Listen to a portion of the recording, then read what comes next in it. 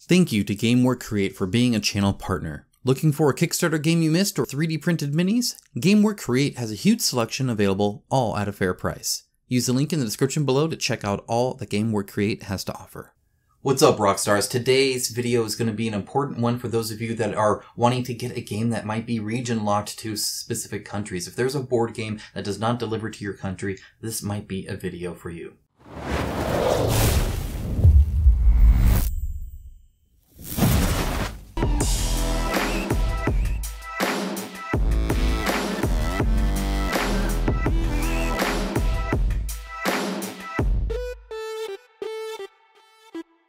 As always, I'd like to give a huge shout out at the beginning to my patrons and YouTube members. It is through their financial support that this channel is possible. If you enjoy my honest critique of the industry or some of my reviews or anything like that, that is in large part thanks to them. They keep me going so that I don't have to rely on the game industry to actually critique the game industry as much as I can. If you appreciate that level of independence, there's a link down below. Additionally, there's a cool Discord. There's uh, audio updates every single week. There's a lot of cool stuff and insights into the channel that you might enjoy as well. And with that out of the way, let's go ahead and just dive right in. Except remember to like the video on your way out, regardless of anything. I don't care. You don't have to give me nothing, just a like or even a comment saying this video was helpful. Trust me, makes it all worthwhile. So thank you for that.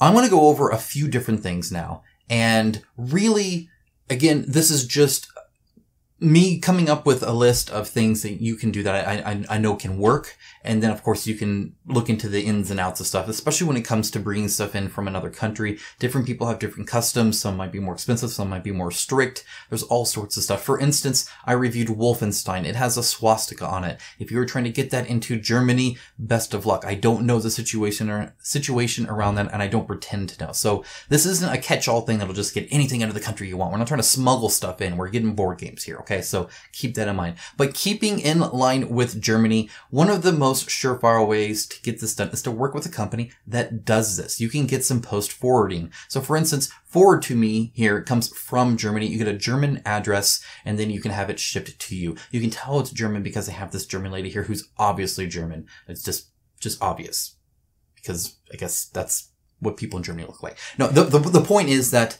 um, when they control what the thing you're going from, especially when it comes to like Kickstarter or something like that, or typically any website in general that's shipping it, so digitally getting the game, they are controlling it based off the address you put into the shipping. They don't go and check your, you know, typically they don't go and check for any kind of government ID from you, right? Or they're, or they're, you're not trying to prove yourself with a utility bill here, right? They just care, does this address resolve to these countries that are okay? In which case, there you go, you're good to go. This is what these post forwardings do to you. They have one here from like Germany. They have one here from the good old US of A. So if you want a US postal address that you can put into that, you know, pledge manager or put into that shipping information or billing information or whatever you need to do, this will get you that so here's one from the US if you're trying to get something that's not available in your country or, you know, in like Europe or something like that. Or if there's something available in Europe that you're trying to get elsewhere, you can sometimes do it with something like this. Or again, there's plenty of others and I haven't looked up, you know, better bureau ratings to any of these. I haven't looked up any ratings at all. They might be crap services. I'm just giving you examples, right? So there is a such thing of that. What they do is they get your mail and then typically they'll take a picture of it or scan it or, you know, do whatever it is. They'll say what they do. And then you have an app that notifies you, Hey, we got this package. And you can then decide, yes, ship that to me here ship it to you there. So you are paying for an extra shipping because it first has to ship to them and then ship to you. But it means you can get through that wall that is that address when I, you put in your US address and it says, Oh, nope, sorry, not shipping to the US. Well, you could do it with something perhaps like this one right here. So forwarding services, definitely, I think probably the most sure for all just because you're dealing with a company where that's their business. It's what they do. Um, and uh, I saw quotes around $15 a month, $19 a month, some a little bit more, some a little bit less. I'm sure they have different features. Feel free to research. There's a ton of these out here. You just Google it. Trust me, there's a lot. Another thing you can do is a Good Samaritan group pledge. What do I mean by that? Well, this handsome devil, for instance, reviewed Masters of the Universe Fields of Eternia by Archon Studios. You can check out the link below to the review if you care enough about that um, to see if it's something for you. But it is only available in like 10 European countries. Not even like all of Europe, just like specific countries. Thanks to the IP rights on distribution, they can only deliver to certain countries. IP rights are what they are. And so that's kind of a bummer for a lot of people, like say anybody in the US that wants to play Archon's area control game version of Masters of the Universe. They can only get CMON's version, which doesn't ship to these. So if you want one or the other, you kind of have to go through some other means. One of them is by like this pinned comment right here that I pinned here. Uh, what he's saying is essentially, hey, I'll add other copies. You have to send him the money and trust him enough to, you know, take the money, pledge it, and then ship it to you. Um, but he's willing to do it at cost. So it, it all depends on trust here. This is why it's not the number one for me. Um, but I do like this method because it gets it to you pretty darn quick and not at scalper prices. That's why I said Good Samaritan group pledges. But group pledges are possible. So you can actually go through somebody and say, okay, hey, order an extra copy for me. And then you can obviously then pay him the difference. Ideally, some of you tip him if you go through that route. I know several of you, there's already nine replies to that and hopefully there's more after this. So, um, and again, you can follow the link to that comment. It's the top one, but you can essentially go through a group pledge where it'll all ship to him. And then after the fact, he's free to ship it out to whoever the heck he wants as a gift or, you know, whatever it might be. Again, extra shipping, extra time, but it gets you the game. So it's not actually like you'll never see it. It is possible, especially in today's age to ship stuff across the world if you need to. So definitely possible through that. What's also good with somebody like working with a person is you can typically um, work with them on how they ship it to you, right? Whether whether it's the company or the packaging or something like that, right? If the box got all banged up, you can have them open it up and make sure everything's okay. Maybe even get the re- replacement parts because once they send it to you, replacement parts aren't going to you, right? So if a bro- there's a broken mini, you can use stuff like this to oftentimes actually get a little bit more interaction. So still very good if you can do this and if you can obviously trust the person too.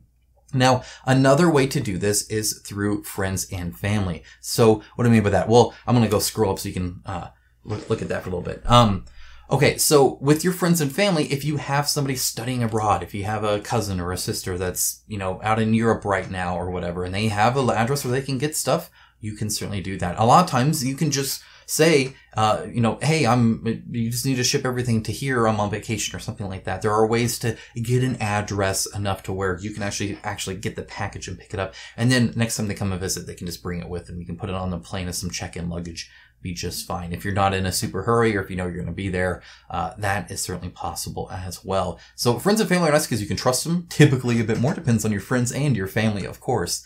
Um, but they may not actually be part of the industry. They may not actually understand the okay open it up make sure you know all the all the stuff's printed right and ask for replacements and do all that kind of stuff. So pros and cons to both probably a little bit more trust there or at least easier trust there but less understanding of these expensive board games that we're buying online. So uh, you can kind of do either one of those. They're kind of in the same tier but either way definitely in the top 10 or the top 5 list if you ask me.